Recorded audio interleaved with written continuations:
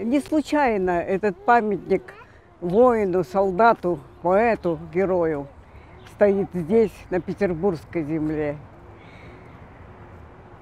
В 1942 году под Ленинградом на Волховском фронте Муса Залилов, политрук, корреспондент армейской газеты «Отвага» защищал подступы к Ленинграду от фашистских захватчиков.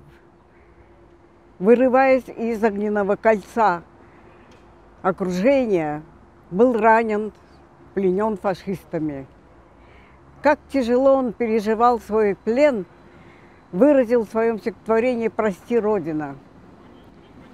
«Прости меня, своего рядового, малую, чай, малую часть свою, Прости, что я не умер, как подобает солдату в жарком бою.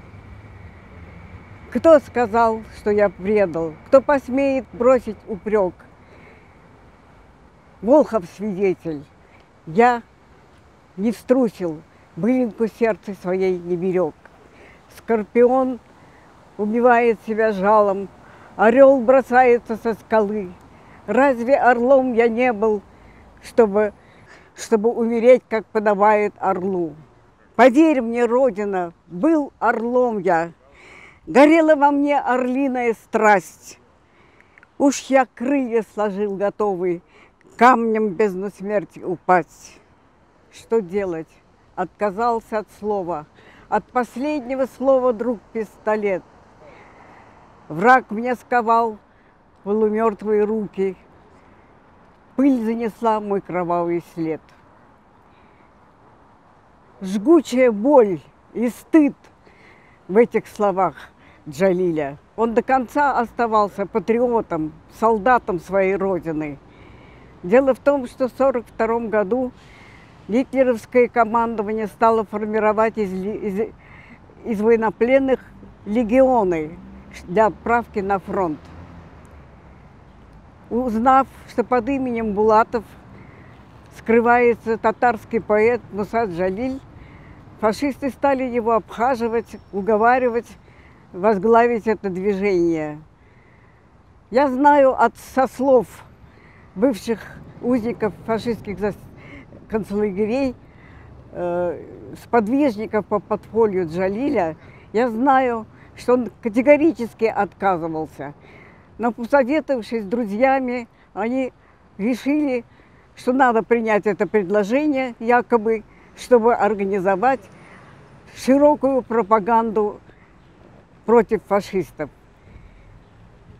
Свободное перемещение по лагерям позволило Джалилю из смелых, преданных родине, честных людей сколотить маленькие подпольные группы в четыре человека – и такую широкую сеть хорошо конспирированной подпольных групп удалось собрать.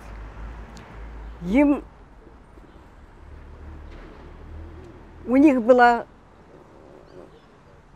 капелла музыкальная, и мне удалось встречаться с, с руководителем капеллы Рушатом Хисумудиновым, исполнителем, певцом, который Э, пел татарские народные песни Гарафом Фахрудином. И от них я знаю, что агитация и пропаганда антифашистская шла через народные песни, через листовки. И вот эта вот контрпропаганда фашистской затеи сорвала коварный план гитлеровцев о легионах против Красной Армии. Два батальона сформированных